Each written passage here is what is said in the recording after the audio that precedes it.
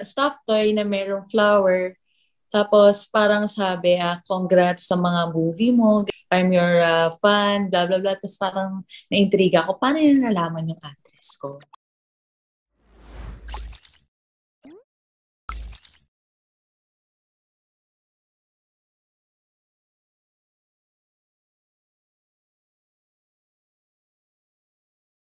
Kuya Raymond, then si Derek. Masaya kami sa set. And then, so, ha, pag sila naman yung shoot, ang napansin ko naman mga discovery sa kanila, um, uh, si Janet uh, mahingi. Yun na napansin ko sa kanya. Tapos si Kuya Mon, tahimik lang. Ako yung pinakamaingay sa set. Ako yung kalog sa set. Tapos si Derek Paul, syempre nag-check ano yung mga scene na iti-take. And then si Derek Yam nandun din. So, hands-on lahat. Ay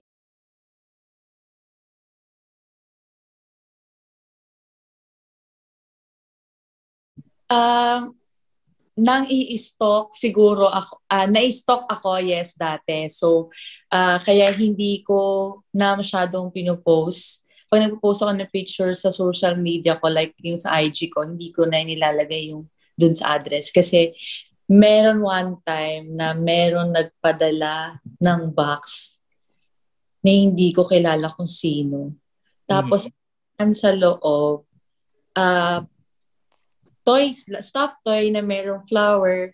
Tapos parang sabi, ah, congrats sa mga movie mo. I'm your uh, fan, blah, blah, blah. Tapos parang naintriga ako, paano yun nalaman yung address ko?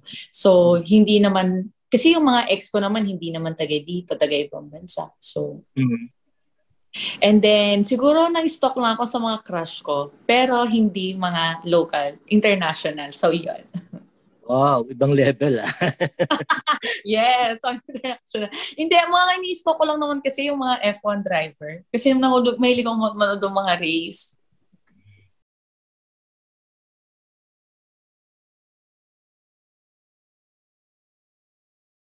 Um, sa akin naman, ang opinion ko for sa escort wife is uh, may may mga kakilala ko na ganyan yung trabaho nila.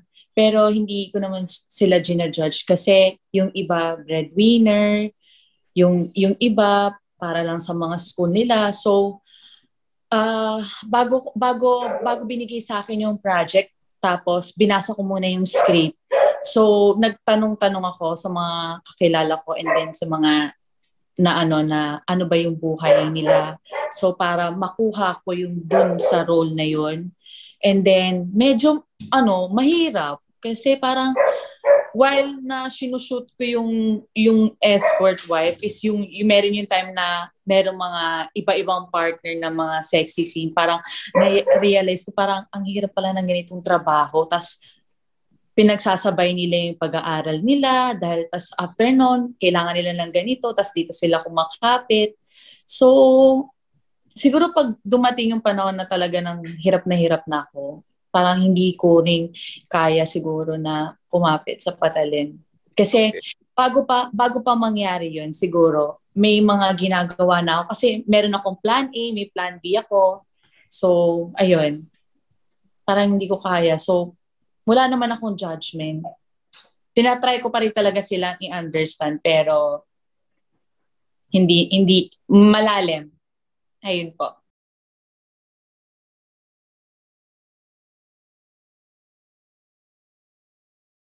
Kasi na, nakaka-board naman kasi talaga sa guy. Hindi, lalo na pag kunyari, ako gusto ko kasi mas matanda sa akin eh. Gusto ko yung mga, ah. mga uh, mature. Mid, oo, mid-30s to 40s, yan. Yun yung mga bet.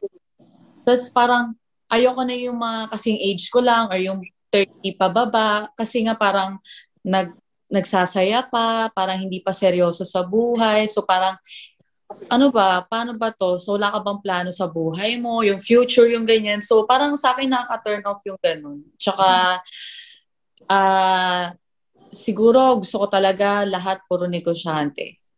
Ah.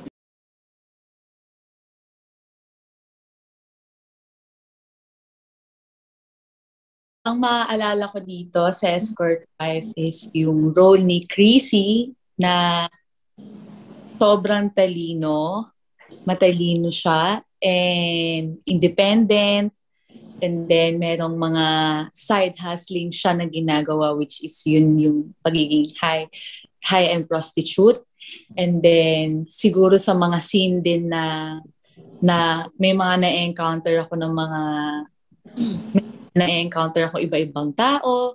So, sobrang excited na ako. Sana ano, sabay-sabay natin panoorin yung The Escort. Kasi sobrang ganda talaga ng story. Kahit kahit ako nagandahan ako pinaghandaan ko nagtanong-tanong ako sa mga kilala ko kung paano kung paano talaga yung buhay ng mga high-end prostitute so tas in-apply ko siya dito so uh, maganda maganda yung story and ano sobrang excited na kaming lahat ay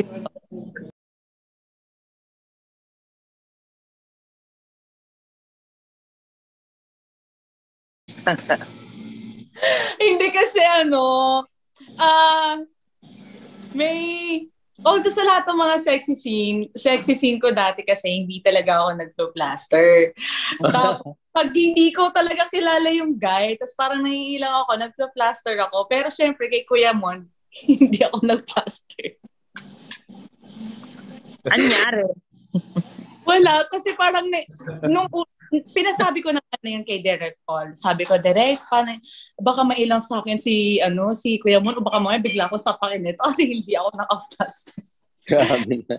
Hindi kakausapin natin yan si Kuya Mon. Tsaka mabait naman yan. Tapos, tapos doon, una na-intimidate ako, tapos medyo parang nailang ako kasi parang ang tahimik ni Kuya Mon, di din nagsasalita. Tapos nung natapos na namin yung scene namin, sabi ko, ah, okay lang pala to si Kuya Mon, de. Kailangan pala talaga i-approach mo. So, medyo, akala ko nga masungit siya, pero nung kinausap ko, sabi ko, ah, okay naman pala. So, yun.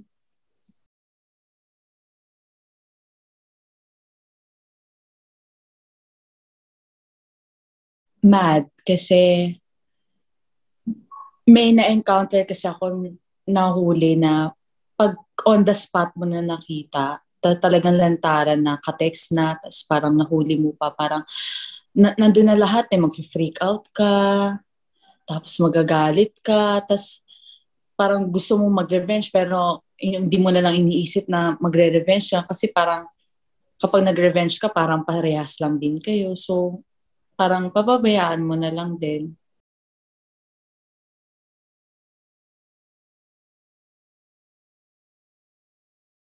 Uh, dahil meron akong meron akong anxiety is ang ginagawa ko nagme-meditate ako uh, nakipag-bond ako sa mga family ko, sa friends ko, sa mga pinsan ko. And then also, uh, pupunta rin ako sa mga, nagpupunta ako sa gym, kumakain lang ako ng tama, ayun lang. And then, pumupunta ako dun sa doctor pag may time ako na psychi- psychiatrist ba tawag doon.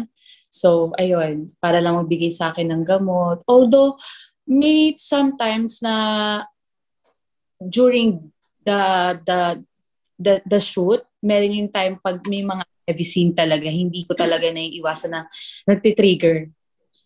So, hindi ko alam kasi minsan yun, yun ginagawa ko pang hugot eh, lalo na pag may mga heavy scene na talagang may kailangan ng super iyak.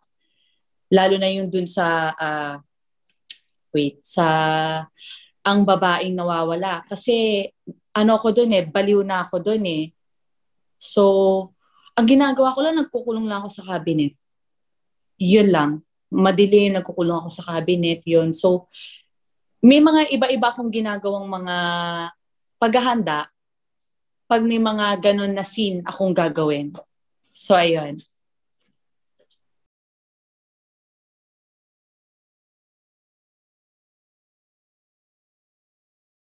Yes, I agree po kay Janelle. Siyempre, maganda rin yung meron din kayong uh, personal growth sa isa't isa, kayo personal growth nyo sa relationship ninyo, and then adventure para sa sa sarili mo, hindi lang dun sa sex adventure na magde-develop kayong dalawa pareho, yung yung lalakas kayo pareho. So, ayun po.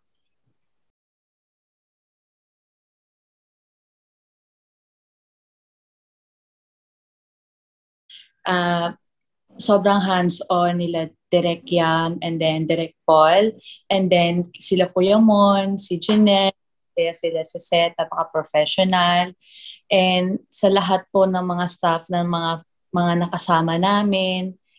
And uh, sobrang grateful po ako dahil napasama ako dito sa project na to. And then yung character as a Chrissy, uh, hindi ho madali. But uh, na i na i na, i-pro, na i-portrait naman po na maayos and with the help of Direct Yam and Direct Paul. Ayun.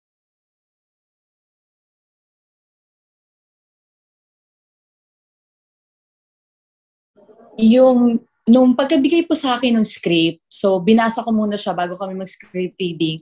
Uh, mm, siguro yung pinaka-challenging sa akin at gusto ko na-excite ako yung yung pagiging pagiging escort ko. Kasi hindi siya yung ano, hindi lang siya yung high end kasi siya so may mga iba na middle class lang or yung iba yung parang pangkaraniwang na yung mga nandun sa mga bar, 'di ba? So ito kasi um uh, yung sa story is parang uh, parang ano uh, magiging magiging kaibigan ko pa. May may meron pa akong magiging kaibigan dito at uh, meron din akong parang uh, ma may influence na parang hindi parang same lang din dun sa preview na ginawa ko pero iba naman ang story nun yung Eva so parang sabi ko parang bakit kaya napupunta ako sa role na ganito parang ako yung laging ako yung bad influence ako yung nagbibigay ng ano idea so parang okay, eto ulit ako. So, ayun, happy naman ako.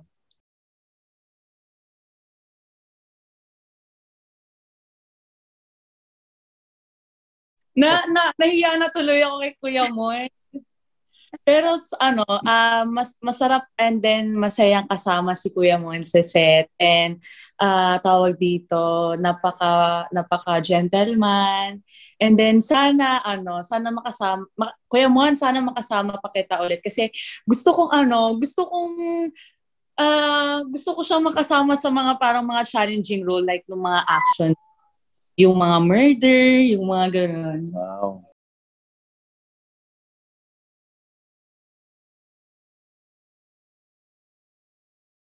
Hindi eh, kasi uh, pag ano, matagal ka, pag nagpapa ano kasi ako, gusto ko matagal talaga yung ligaw bago dun sa papasok and papasok sa relationship kasi dun ko talaga inuusi inuusisi lahat. So ano kung yun ba talaga or di ako pero may mga times talaga kasi darating ka sa point na pag kayo talaga may, na maboboard ka parang uh, minsan kasi pag yung isa ayaw i-workout, parang ako na lang yung i-workout para sa amin. And then, siguro baka, ano, i-cool off ko muna or sabihin ko na lang na, ano, na parang uh, ayoko na, magsabi ako na ayoko na kasi bored na ako. Kasi, may, meron akong, ano, meron akong past na na-trauma ako. Uh, kaya, trinay naman din namin i-workout. Tapos on and off kami, tapos parang ayun, hindi nag-grow.